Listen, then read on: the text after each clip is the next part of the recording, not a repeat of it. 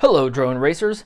This is a pile of radios I don't want to use anymore and this is what I'm going to use to replace them. This is the iRange X IRX4 and it is a 4-in-1 transmitter module that's going to fit in the back of my Taranis and make it so I don't have to use any of these ever again. This is a 4-in-1 module basically meaning it has four different transmitter types. They're all listed here. I don't know what they are.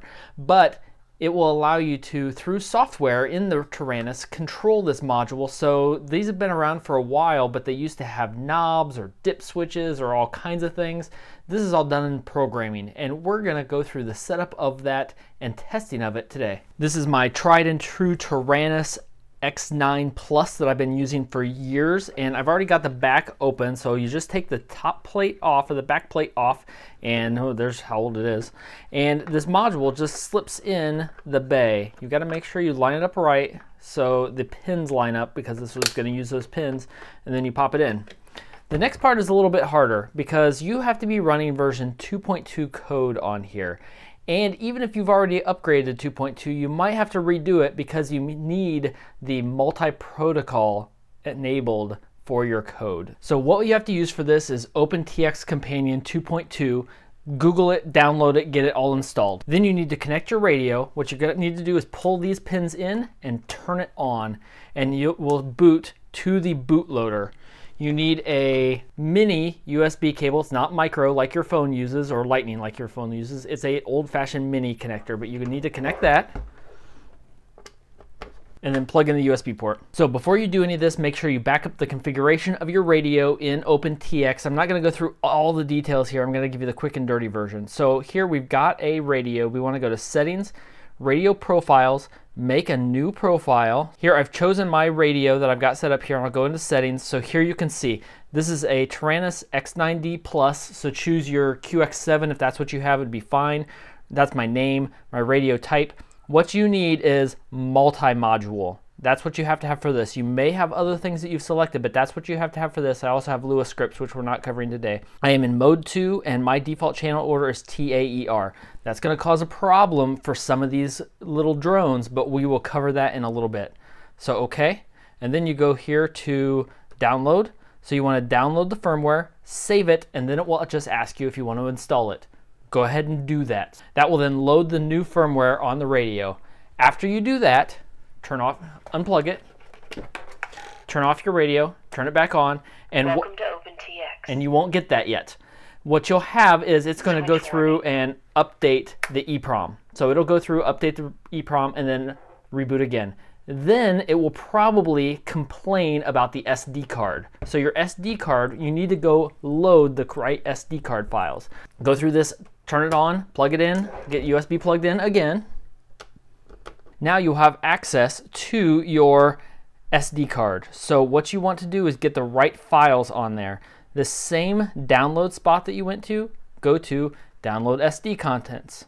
And here is a zip file that you need to unzip and load onto your SD card. Replace everything that's there and go ahead and get that all loaded. Then you'll be able to load it, you'll have sounds, it won't complain about the card, and it will sound stupid. So the one last thing you're gonna do, which this isn't really a 2.2 upgrade, is go to open-txu.org and then go to the version 2.2 resources. And what you'll have here is the Amber sound pack. We're all in love with Amber, and that's what you need to run on your radio, so you're not wrong. You just download the file from here. It is a RAR, so you'll have to have a program to unzip it. And then once you unzip that file, it will extract a sounds folder just replace the sounds folder on your SD card with this. And you can do that with the radio plugged in. You don't have to take out the SD card because we held the sticks together and turned it on and plugged it in. We have a removable disk and we have sounds. We're just replace this file with that one. I've already done that. That's why we had Amber's gorgeous voice when we turned it on. So that was probably the fastest Taranis 2.2 upgrade video on YouTube, but it got us what we needed. It's actually a really easy process. Just back everything up. It's, it's kind of hard to screw up. Use OpenTX though, and it makes it easy. Now we're here with the radio. Now what do we do? Well, now we have to set up a model. What are we going to use first? Let's use the good old reliable E010. This is one of the models that use those garbage radios that I showed at the beginning, and I want to fly it. And hey, look, I've already done it because there's E010. I'm gonna, I'll go ahead and set up a whole new model for you just so you can see what I had to do here. Go through here and set up a new model, create model. Here it is. In this case, it is a quadcopter. Now, the order is wrong because I have this set to TAER. I have way too many models set up for TAER. I don't want to go through and redo them all, even though I probably should. If you don't have many models, just change it to TAER or change it to AETR, and that will be a better way to set it up in the long run for you. But I'm on TAER, so I need to change the order of my channels. So I need AET, so I have throttle, so I need to make this 3 and it's A, which is ailerons, which is roll. So this should be channel one. And then pitch, which is elevator. So that is AE, so this would be channel two. And then I have Y, which is rudder. So if you never knew what TAER or AETR was, that's, that's what it means. So now that's already on channel four. So that is good to go. Now if I go into this new model, I won't bother naming it right now the first thing it's going to do is set it to use internal RF. And I want to turn that off because I don't want to use this radio. I just turn that off completely. Then now I have external RF. And I have lots of options here. I have PPM, DSM2, that will be interesting. And then the one we need to go to is multi. So this is honestly the worst part of this because I can't find a really good list of what all the quadcopters should use for this module. If you have one of these and you made it this far and you know of a list which option should be chosen for all of the radios, if there's a definitive list, let me know. If not, I'll probably start making one. So here I've checked and the E010, so I'm on multi, and then I need to go to the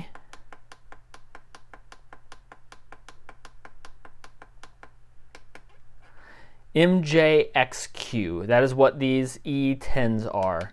So then I select that, and then this other option, I need to go to E010. Look at that. Hey, I'm, they're not all going to be this easy. There. Now I am set, and that will work. The other thing I want to do in this case is I want to bind on power up. So if I'm selected on this radio, it will have me set up. So now I can exit. Now I will power on my quadcopter. I'll power off my radio. Power on my radio. Welcome to OpenTX. And look, the light stopped flashing. It's bound.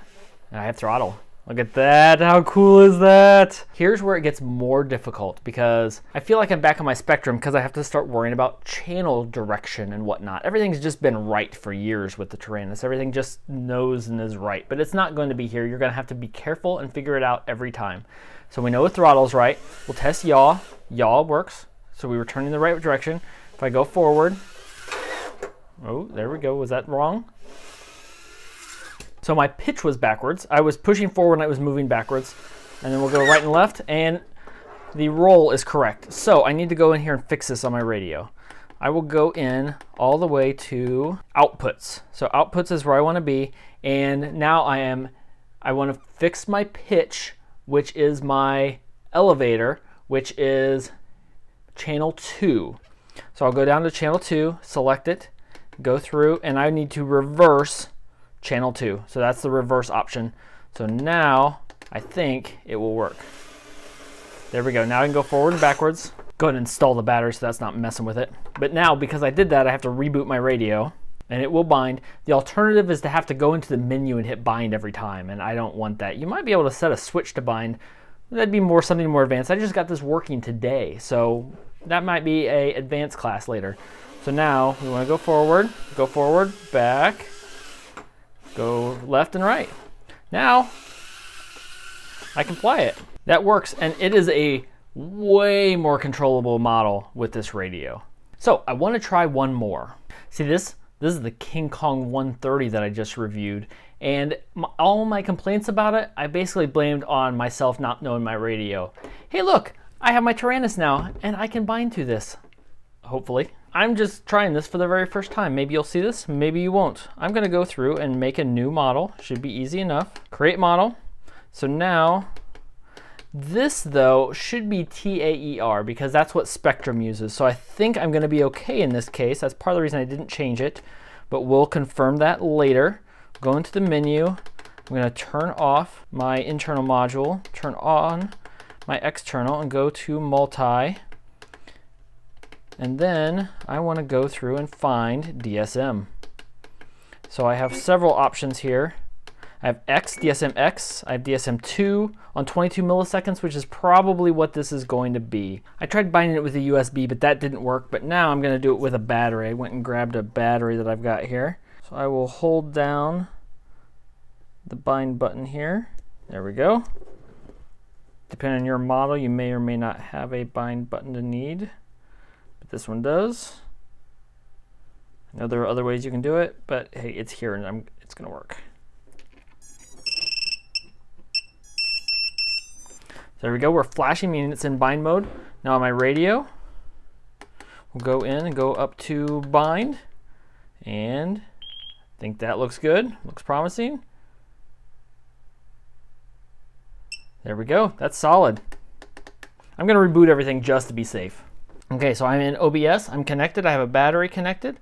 Let's go to receiver and see if it shows anything. Oh yeah, the channels are totally messed up, so I'm gonna have to fix that. So I got it. I had to redo it and redo the model. It, I did have to set it up as ATR. I don't exactly know why, but it did work. And a thing I learned in the process is you can go and set it under hold down menu, set this to ATR, and that just seems to affect it while you're setting up the radio. So, or setting up the new model. So you can go and set this, and now I can change this back to TAER so my next models are all right and then it will set up my new models right next time. And I might be able to just change it and leave it that way so it doesn't mess up everything in the future.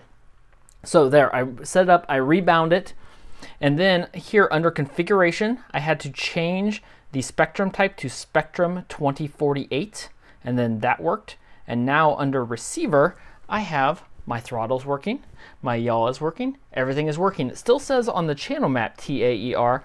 I also went through and set up my normal inputs that I set up every single time. So I set them up the exact same way. All my switches are in the right place. They all work properly. My arm in my modes from last time is all set up. So now I can arm it and look there, it's armed. And now I can use horizon mode to test it properly. And I can set up the beeper on my switch, which I was not able to do with my other radio because I didn't have enough channels. Yay! So now also, oh, I'm so excited. Now my receiver is right, so my stick min is right, my rolls are right. I expect the FlyEgg 130 to be a whole new beast after this. Many people also commented that 3.2 is available for this. It's now called an FF Pico Blocks. So I'm gonna confirm that and we're gonna get this updated and we're gonna test this again this weekend because I think this is gonna be a whole new beast. Kind of what's nice is this receiver, this model is still $93. You can almost buy this in that mode. You can almost buy this with a Spektrum receiver and buy this module for the same price as just getting the FrSky version. So that's a pretty good deal and you get a really sweet combination. I, uh, I think I'm gonna be really, really happy with this. But we'll find out. So if you found this useful, leave a thumbs up and comment if you know somewhere that there's a list of what to use with this and especially this. I haven't figured this one out yet. And oh, here's the E11. I don't know what that is. Somebody have a definitive list. Let me know and I'll link it down below. If not, maybe I'll start making one because I'm gonna have to figure it out. Oh, and I do have one of these orange DSM modules. Uh, this is going to be a giveaway. Who wants it? So until next time, remember, I am now officially Spektrum free.